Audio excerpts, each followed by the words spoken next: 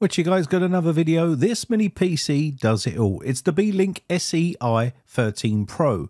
This has an i9 13900-900HK processor in it, which is a pretty powerful processor by today's standards, especially when you pair it with a mini PC. So inside the box, you're going to get yourself a user manual. This is going to give you all the information you need how to set this up.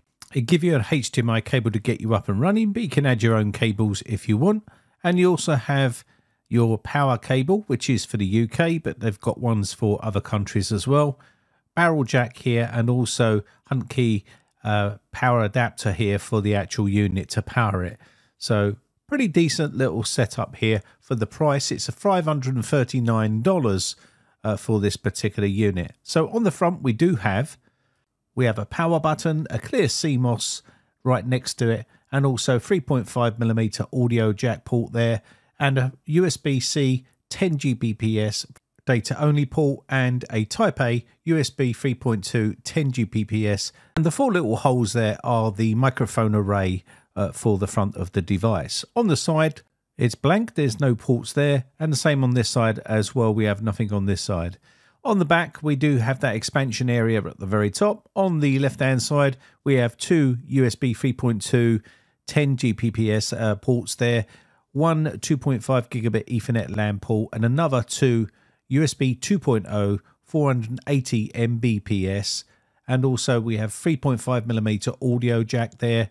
Also, we have a HDMI port, which is 4K at 60 hertz, a USB C 10 Gbps port, which is data and video, and a DC in port there as well. So that's what you have on the back of the unit. So we have two 3.5 millimeter audio jacks, one on the front, one on the rear, and those microphone uh, ports on the front, they are for voice interaction and 360 degrees omnidirection pickup, so you can pick up audio quite well. On the bottom, it's made of plastic here.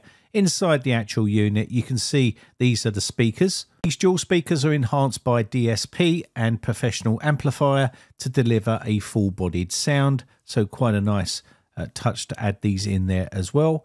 So these little rubber feet here, you do have to pull these off. They are basically glued on, so you will have to pull them off to gain access. Now, I'm just going to quickly remove this outer cage here. So I'll quickly remove these two screws to remove this mesh here, which is going to allow heat dissipation here, which is quite nice. So you can use dual M.2 2280 PCI Express 4.0 maximum for 8 terabytes. So that will be two 4 terabyte drives you can put in here, which is going to be plenty of storage and capacity inside this uh, particular mini PC. So what we need to do here is I'm just going to quickly lift this up by putting the screwdriver underneath here. Should have probably used a spudger here, but it's okay. So let's just move this up so we can gain access to inside.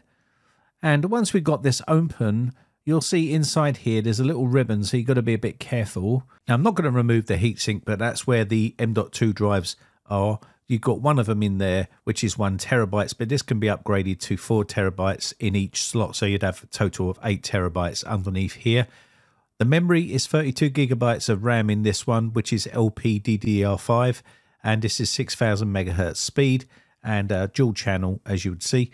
And also we have Wi-Fi 6, Intel AX200 uh, Wi-Fi card in there, and Bluetooth 5.2 on there as well. This does have a MSC 2.0 cooling system on here, so should have decent cooling. So the Intel i9 13900-900HK processor, it also has 13 cores and 20 threads.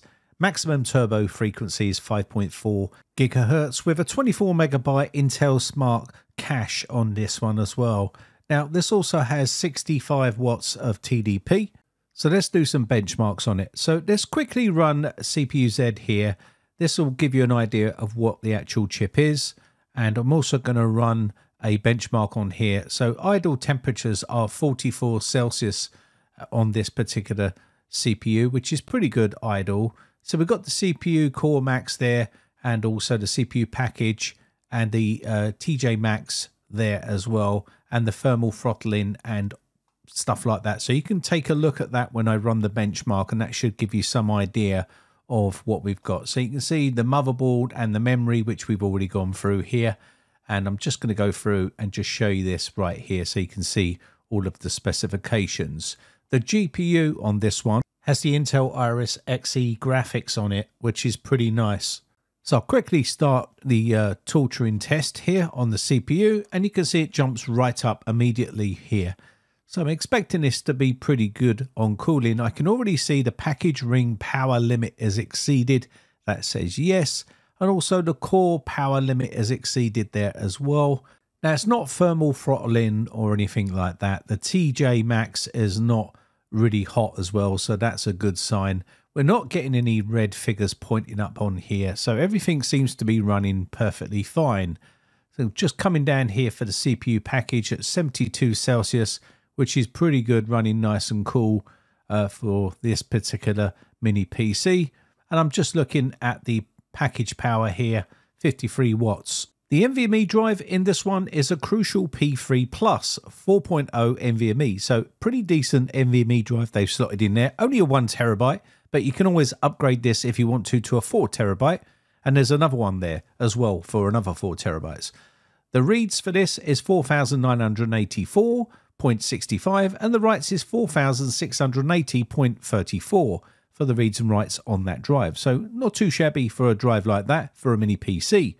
Let's move on to the Jellyfish 400 Mbps uh, 4K Ultra HD HEVC 10-bit file and we'll just quickly run this and see if it plays on media player.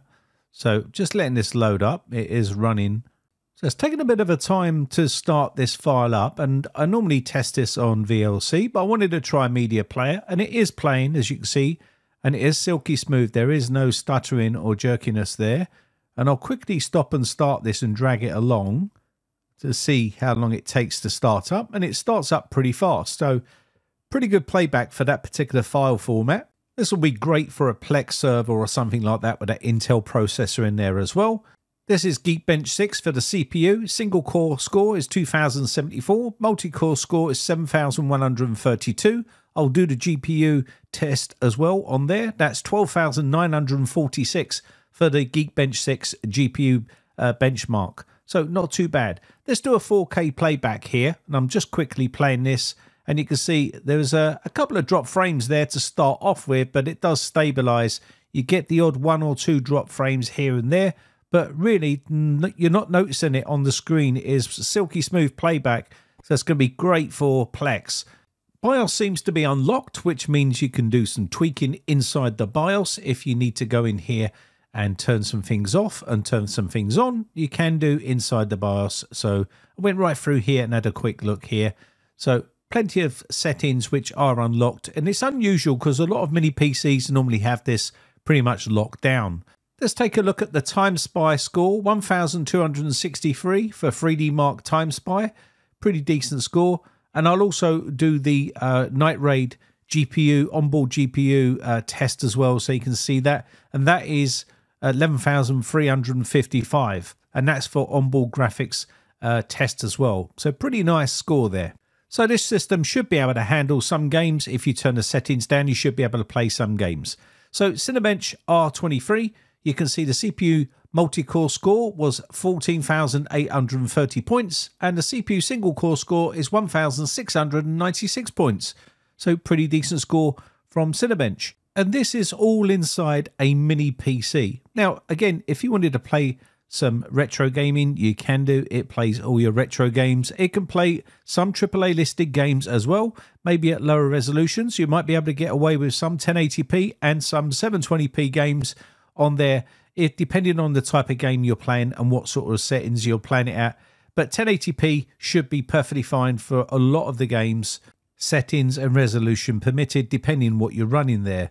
But all in all, a really nice little mini PC. Now, people always talk about whether it's worth buying a mini PC, and I think when mini PCs have come on leaps and bounds, I've reviewed loads of mini PCs, and I always see people in the comment section talking about how expensive they are and uh, why would you need one? Well, literally, this will replace your aging Windows 10 computer that is not compatible with Windows 11 anymore.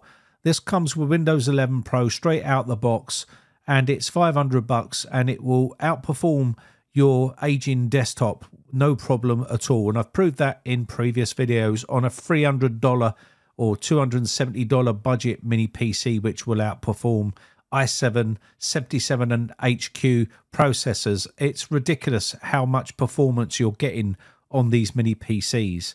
So if you are in that predicament and you've got an old computer and you're looking for something new and you don't want to spend a lot of money, then something like this will be perfect. If you want to play a few games, surf the web, uh, do some video editing, this sort of CPU can handle video editing as well. So all in all, a pretty decent system. I'll leave all the links and information in the video description. Beelink did send this out for a review. Uh, all my opinions are my own. No one is reviewing this video before it's released, and no money has changed hands for this review.